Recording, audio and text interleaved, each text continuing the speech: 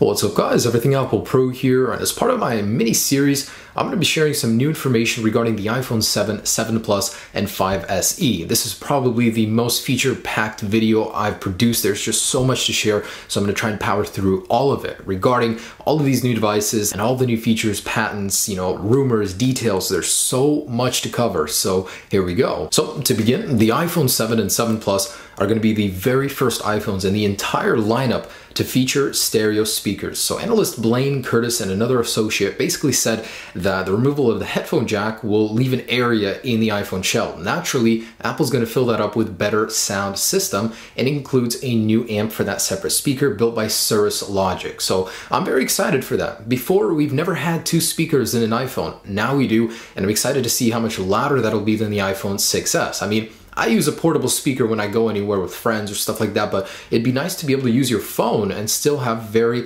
listenable audio. Now, the iPhone 7 will not ship with dynamic noise cancellation, also known as active noise cancellation. It's a technology used with Bluetooth headphones to filter out background noise, especially useful when you're talking on the phone with someone. So, what this means is basically Apple does not see this technology justifiable. Instead of shipping AirPods, those wireless headphones I talked about in my last video, they will be shipping lightning based headphones. So wired that are gonna be connected to that lightning port on the iPhone 7, pretty much keeping that old digital codec instead of upgrading it. So in a nutshell, Apple will not be shipping wireless headphones in the box with the iPhone 7, instead lightning based cable ones. It might be possible that they'll be sold as an optional accessory, but at this point in time, the plans for that have been postponed to 2017 and the possible release of the iPhone 7s. This one actually got me very happy. Wireless charging is all but been confirmed for the iPhone 7 and 7 Plus release. You know, Apple's actually been testing this technology for the last two generations of the iPhone. It never made it to the light of day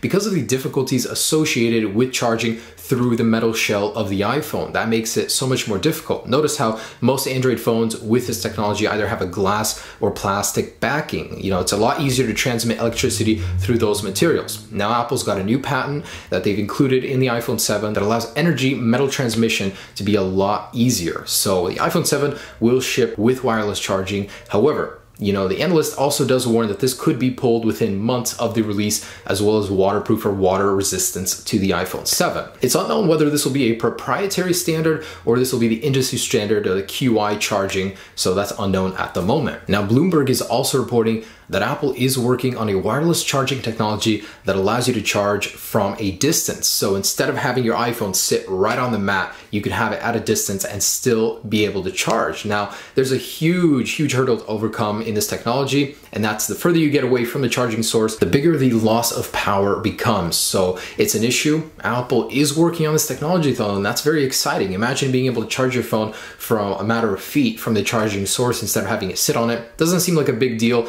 but you know, it'd be cool nonetheless. So it's unlikely we'll see that this year. Bloomberg reports 2017 release more likely. So there are two new design changes in the iPhone 7 and 7 Plus that may take effect. And now it's unknown at the moment what it'll look like as a whole, but these two little things, you know, we do have a good clue on. So first off, the reduction of antenna bands. So it's not entirely clear whether or not every antenna band will be removed, but we do know there will be less antenna band on the actual iPhone. It's very entirely possible that you know several entire strips from the back could be removed. We could just see it on the edges, on the very tops, make it you know more discreet, not in your face antenna bands. Also, the iPhone 7 could feature a flat camera lens. So instead of it protruding, thanks to some new technology I covered in my last video, we could be seeing an entirely flat camera lens. And this goes hand in hand with the new rumor about all the details on the camera. So the iPhone 7 Plus could feature a dual lens setup while the iPhone 7 has just a single unit camera, which would differentiate the 7 Plus and the 7. As we know, the 6S and 6S Plus do have some big features that, you know, that they differentiate in right now, but the 7 and 7 Plus will have even more. 7 Plus will feature the 256 gigabyte storage option. It'll have 2 gigabytes of RAM, and now this latest rumor, a dual camera setup. Now, not only is there going to be a dual camera setup on the iPhone 7 Plus, Ming Chi Kuo is actually reporting that there will be two versions of the iPhone 7 Plus with varying different camera sensors. It's unknown whether the changes there could be between them. Now, this guy is the most reliable Apple analyst, and what he's saying is that there could be one version of the iPhone 7 Plus with just a regular camera lens setup, just one lens, the other with that dual dual lens setup. And that dual lens setup could include optical zoom, which would be a nice feature to have, differentiating it from the iPhone 7 Plus standard version and then the iPhone 7 even. So he's expecting the iPhone 7 Plus with the dual lens setup to be about 30% to 35% of sales overall of the iPhone 7 Plus. Now, Sony's CFO, basically one of the major higher ups, has spoken about the future of phones in general, and he's saying that dual lens setups for camera will make a huge, huge appearance in 2017. Now, it's unknown whether or not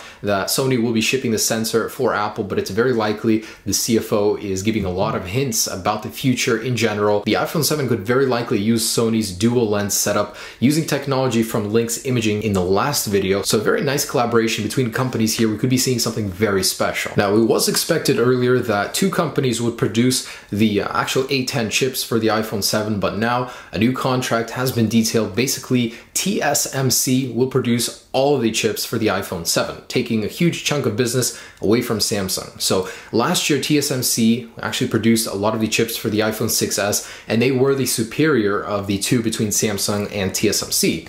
They were 16 nanometers, you know, two nanometers bigger, but they were more efficient and they did run a little bit cooler. Apple says officially the difference was only 2 to 3%, but some users reported a much better difference in the favor of TSMC. So I think it's good that Apple chose them over Samsung, and the process of the new A10 chip will be 10 nanometers. So, you know, it's gonna be very powerful, very difficult chip to make. Hopefully TSMC can keep up with that demand. So there's actually a few new patents that Apple has filed, been granted, and have been published that I thought were really interesting. First off is a new Touch ID patent. Basically, different fingerprints activated on the Touch ID sensor would produce different results in iOS. It's unknown detail wise what this could do, but let's say you put one fingerprint on, it'll open up a certain application, put another one on, it'll do something else entirely. Also, Touch ID, the home button itself, could feature 3D Touch like pressure sensitivity support. Not only could it detect the amount of pressure you're applying, but also in what direction you're applying it in, making this a makeshift joystick. Imagine that. It wouldn't look any different,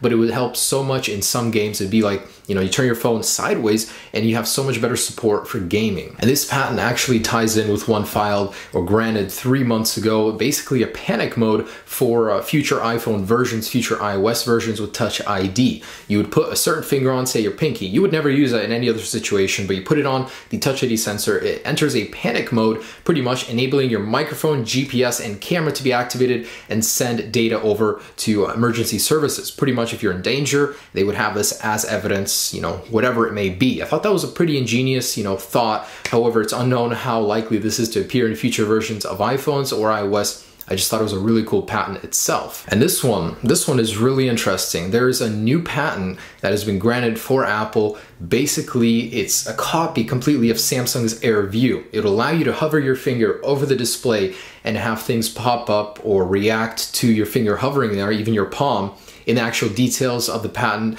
it, you know, it explains it almost completely like Samsung's AirView. So I thought that was interesting how these would clash. Samsung takes 3D Touch, Apple takes AirView and adds it to iOS. So that patent has been granted, and it's very likely we could see something like that in the future version of the iPhone. So that's the iPhone 7. Couple little details about the 5SE. It was previously rumored that it would come in a hot pink color. Now that's been canceled out just a rose gold. So we'll be seeing the same rose gold color as the iPhone 6s and 6s Plus in the 5SE. Also, the 5SE will be announced on March 15th alongside an updated Apple Watch and iPad Air 3. I did cover that in my last video as well. The release will be on March 18th, very soon after. Because these aren't, you know, super high priority Apple products, they will be available to ship very shortly after the event. So guys, that's uh, just about it. All the latest info on the iPhone 7, future iPhones, and the 5SE. I think it's very interesting to always learn about these patents, these features, and Apple is so likely, you know, to go back and forth between them. Some rumors say Apple will add this, then they change their mind, and you know, it's just interesting to see in general what happens. Anyways, guys, Thanks so much for watching. Be sure to check out the last video and the one before that. I detailed a lot of other patents in those that I didn't cover in this extensively. Have a great day, guys. Stay tuned for any more news on the iPhone 7 and other devices. Peace.